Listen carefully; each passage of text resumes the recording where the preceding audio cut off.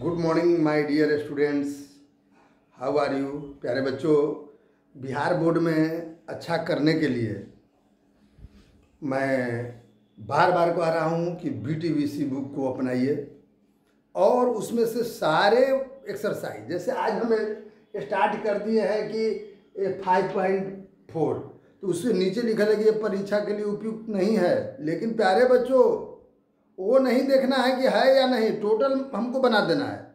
उपयुक्त रहे या नहीं, जब हमको सामर्थ्य है तो सब बना देंगे। है ना?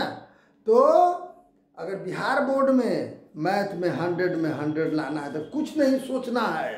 पहले तो एकदम फार्मूला माइंड में एकदम याद कर लीजिए। अब फार्मूला को माइंड में याद करने के बाद आप सीधे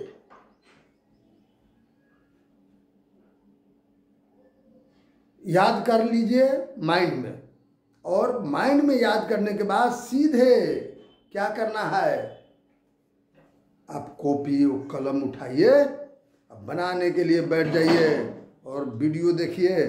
देखिए यहाँ कहता है कि एक धावक है क्वेश्चन नंबर ट्वेंटी लास्ट है। Exercise number five point three का लास्ट क्वेश्चन एक धावक है, आलू दौड़ हो रहा है। कौन दौड़ हो रहा है आलू दौड़ तो यहाँ पर जो बल्टी है तो बल्टी से पहला आलू का दूरी पाँच मीटर है। अब फिर तीन तीन मीटर बढ़ते चल जा रहा है। दूरी क्या मीटर? तीन मीटर बढ़ते चल जा रहा है। तो अब तीन मीटर बढ़ते चल जा रहा है तो टोटल यहाँ पर कितने आलू? दस आलू है। तो पहला सोचिए धावक यहीं पर बल्टी के सामने है। तो स्टार्ट सीटी बजाए स्टार्ट तो बेचारा यहाँ गया, उठाया आलू, फिर आया। कई मीटर दूरी तय करना पड़ा, जाने में पाँच मीटर, आने में पाँच मीटर, कई मीटर, दस मीटर। तो पहला आलू को लाने में तय की गई दूरी बराबर दस मीटर। फिर इससे तीन मीटर दूर है। फिर यहाँ बेचारा खड़ा हो गया। दूसरा आलू लाना है तो पाँच और तीन, आठ। पर जाने में आठ और आने में आठ आठ आठ। सोलह मीटर, दूसरा आलू लाने में सोलह मीटर। फिर तीन मीटर दूर पर रखल है। तीसरा आलू लाने के, लाने में तय की गई दूरी। तो कितना? पाँच, तीन, आठ, तीन, ग्यारह। जाने में, ग्यारह आने में। कितना? बाईस मीटर। तो इस प्रकार से, मैंने दसों आलू लाने में तय की गई दूरी क्रमशः कितना कितना? दस, सोलह, बाईस, अट्ठाईस। इसी तरह से दस आलू, दस तक टीएल टीटेल लिख दिए दस तक है। तो प्यारे बच्चों, स्पष्ट है? आपका पहला ए इक्वल टू कितना है? टेन कॉमन डिफरेंट कितना बढ़ रहा है? T two minus t one कर देते छ तो आपको दसों आलू लाने में तय की गई कुल दूरी। कितने आलू? दसों आलू, दस गुना आलू है जी। तो दस आलू लाने में तय की गई कुल दूरी। तो आप फार्मूला याद है तो रेडी हो जाइए। क्या मैंने कहा? ए से n equal to n by two into two a plus n minus one into d तो एन मैंने दस है, संख्या दस है तो ten by two into two into ten क्यों? क्योंकि ए का वैल्यू टेन है प्लस एन मैंने टेन माइनस वन एन के मान टेन है minus one into six common different different six है। अब देख लीजिए, पाँच दस, पाँच, और ए कितना दस दूनी बीस। बीस प्लस नौ छः चौवन। देखिए, मैंने गुना करके यहाँ लिख दीजिए, और नौ छः चौवन? नौ छः चौवन। होगा ना? घटेगा तो नवे ना होगा। अच्छा तो ये हो गया पाँच और बीस और कितना है? चौवन। चौहत्तर। तो चौहत्तर में पाँच से गुना कर दीजिए तो सात, तीन सौ सत्तर मीटर टोटल दूरी तय करना पड़ेगा। तो फॉर्मूला पर कस दिया गया। अब पहले बच्चों एक्सरसाइज नंबर जो हम लिखे थे फिफ्टीन पॉइंट फोर स्टार्ट हो रहा है।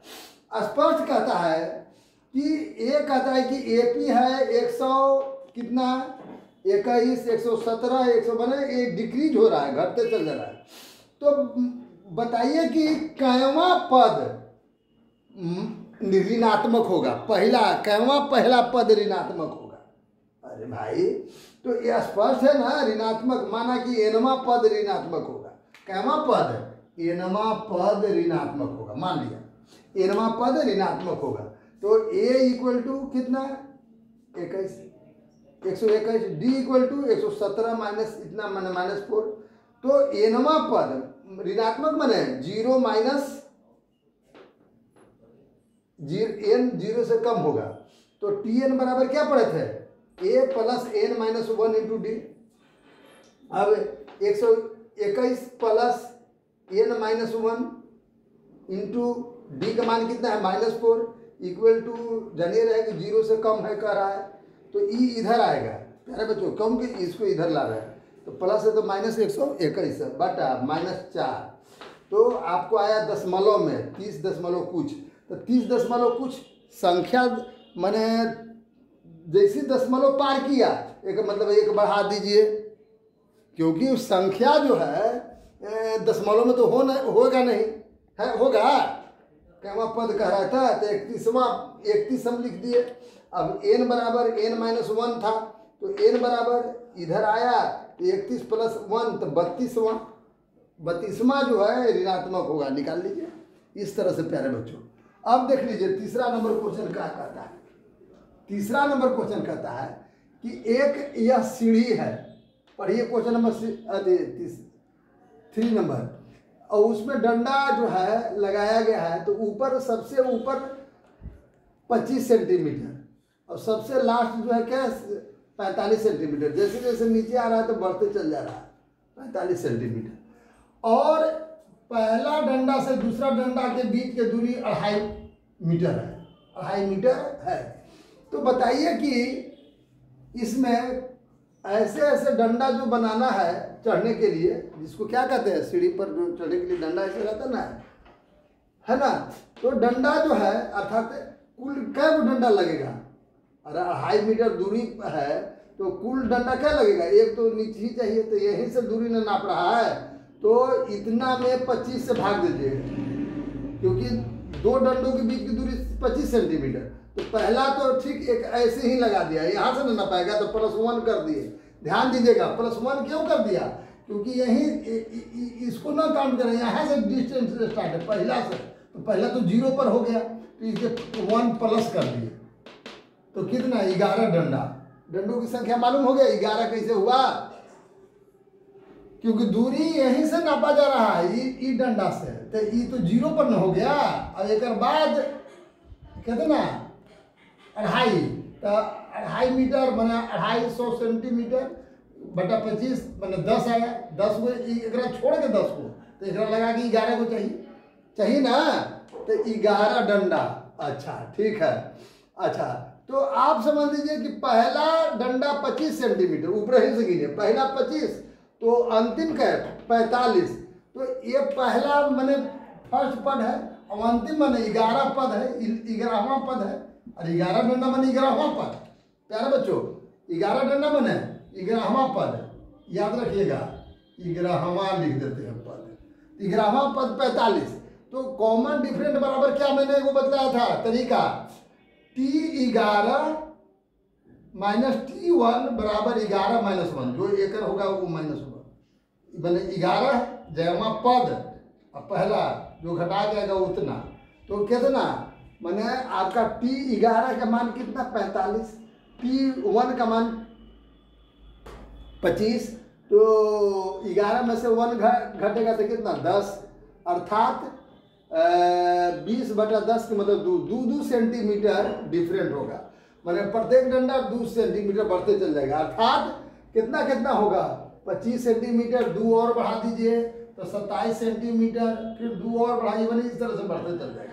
तो कॉमन डिफरेंट आपको मालूम हो गया। तो अब ए भी मालूम है। तो एस इलेवन मैंने टोटल का एस मैंने सम टोटल का सम बताइए, मैंने कुल कितने हो गया।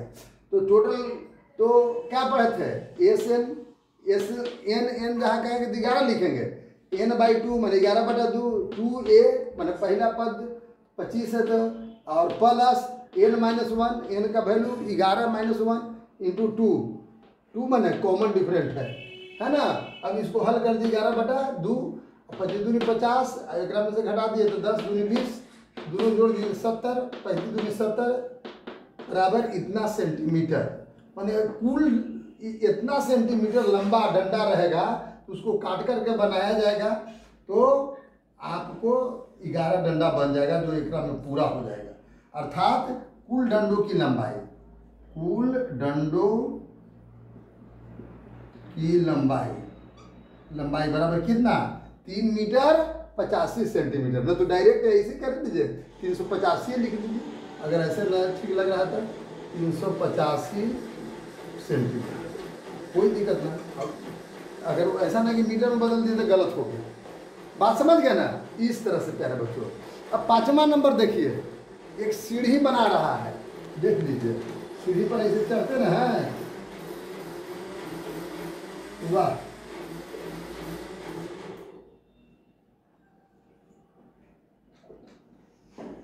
ऐसे। देख रहे ना, इस तरह के सीढ़ी बन रहा है। तो कहता है कि सीढ़ी के प्रत्येक जो है, ये जो है, कितना? एक बटा चार बढ़ जाता है। एक बटा चार। ये भी एक बटा चार। मैंने ऊपर एक बटा चार है। और लंबाई चौड़ाई कितना है? एक बटा दो मीटर। और सीढ़ी चौड़ा जो है, वह जो है कितना? पचास मीटर। तो कहता है कि आयतन निकालें। तो पहला सीढ़ी का आयतन बराबर। आयतन, इस तरह से क्या सीढ़ी बनाना है? पंद्रह सीढ़ी बनाना है। तो पंद्रह सीढ़ी का कुल आयतन निकालने के लिए कह रहा है। तो आयतन बराबर क्या जानते हैं? लंबाई। लंबाई कितना? इतना हो गया चौड़ाई और ऊंचाई एक बटा चार मीटर। तो क्या हो गया? लंबाई कितना है? पचास मीटर। चौड़ाई कितना? एक बटा दो मीटर और ऊंचाई कितना? एक बटा चार मीटर। ऊंचाई बढ़ते चलते तो एक बटा चार, एक बटा चार, एक बटा चार हमेशा बढ़ेगा। तो इसको काट दिया गया बराबर पच्चीस बटा चार सेंटीमीटर सॉरी मीटर स्क्वायर इतना मीटर क्यू क्योंकि आयतन क्यू में होता है। इतना मीटर क्यूब तो दूसरा सीढ़ी के कितना हो जाएगा ऊंचैया तो ऊंचैया जोड़ लीजिए, एक बटा चार और एक बटा चार, कितना हो गया? एक बटा चार एक बटा चार जोड़िए, एक बटा दो हो जाता है। तो लंबाई, याद रखिएगा कि कैसे एक बटा दो दिख रहा है, प्यारे बच्चों? दूसरा सीढ़ी के तो दूसरा सीढ़ी के कैसे? एक बटा चार प्लस एक बटा चार तो कितना हो जाएगा? एलसीएम चार, one plus one equal to two two by तो वन बाई टू होगा ना भाई? वन बाई टू तो इसीलिए दूसरा सीढ़ी में लंबा, लंबाई, गुने चौड़ाई, गुने ऊंचाई ऊंचाई एक बटा दो हो रहा है। तो फिर आगे इतना, मीटर क्यूब। फिर तीसरा तीसरा के ऊंचैया तीन बटा चार हो जाएगा। फिर एक में एक बटा चार जोड़िए, देख लीजिए तो तीन बटा चार हो गए समझते चल जाइए। और ये चौड़ाई उतने रह रहा है, और लंबाई उतने रह रहा है। ये दोनों में अंतर ना रहा है, खाली एक में। पचहत्तर बटा चार हो रहा है। अर्थात पंद्रहों सीढ़ी के आयतन क्रमशः कितना कितना पच्चीस बटा चार, पच्चीस बटा दो क्रम से अब पचहत्तर बटा चार। अब देख लीजिए, सबका कॉमन डिफरेंस सेम आएगा। एक में से एक घटाइएगा, या एक में से एक घटाइए। है ना? मैंने एक में तो मतलब पचहत्तर बटा चार में से पच्चीस बटा चार घटाइए। तो आपका पच्चीस बटा चार आएगा, या पच्चीस बटा दो में से पच्चीस बटा चार को घटाइए तो आपका पच्चीस बटा चार आएगा। तो पच्चीस बटा चार कॉमन डिफरेंट आप निकाल के देख लीजिए प्यारे बच्चों कॉमन डिफरेंट मस्ट है। अब पहला पद भी मालूम हो गया, पहला पद कितना है? पहला पद पच्चीस बटा चार। अब ये समझ में ना आ रहा है कि ये जो है, आपको देखने में उठपुटांग लग रहा होगा कि ये जो है एपी में है या नहीं।